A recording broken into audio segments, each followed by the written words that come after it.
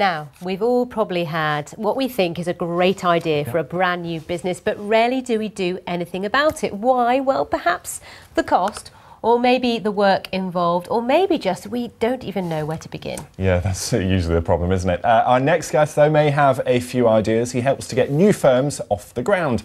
But his background may not be what you expect. Jim Duffy was a police officer for 11 years. He was in Glasgow. Now, before launching his firm, Entrepreneurial Spark, in Scotland, the idea was to help entrepreneurs turn their business ideas into reality. Well, eSpark now has so called hatcheries across the UK, from Glasgow to Belfast, Birmingham to Cardiff, and they look after firms until they're ready to stand on their own two feet.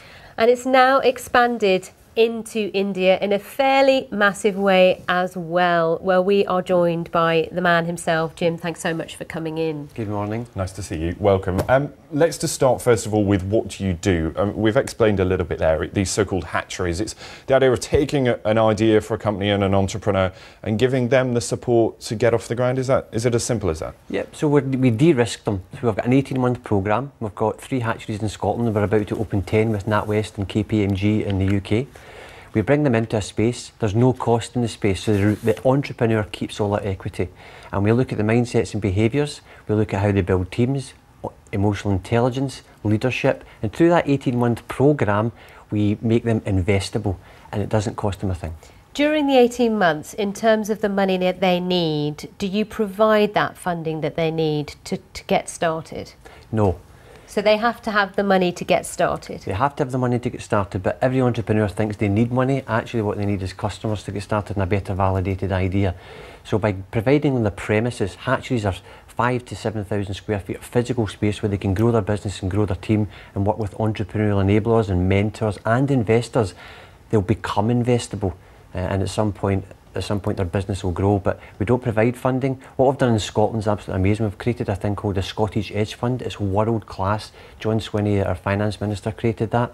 And with NatWest and KPMG, we've also created a £1 million fund. It's going to be the biggest world competition and it's going to be in the UK next year. So basically, those two organisations are providing the finance for this? Yes.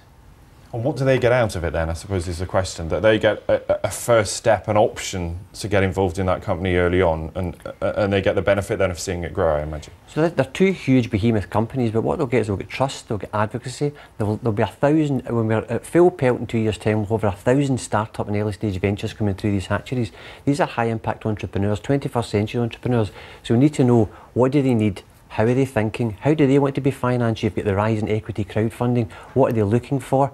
And they'll grow together with these companies. It's almost like they're coming down and finding out what's the next generation needing and how can we tailor our services and products accordingly. And this will be happening in India in the near future as well? Yeah, we open our first, with Viridian Group, we're going to open our first hatchery in Ahmedabad in Gujarat in August this year. We've currently got our two Indian enablers training in Glasgow right now. Really good to talk to you, Jim. Time is against us, unfortunately, but uh, really nice to uh, hear what you're up to. So, Jim Duffy, there, founder and chief exec of Entrepreneurial Spark. Thanks for coming in. Thanks.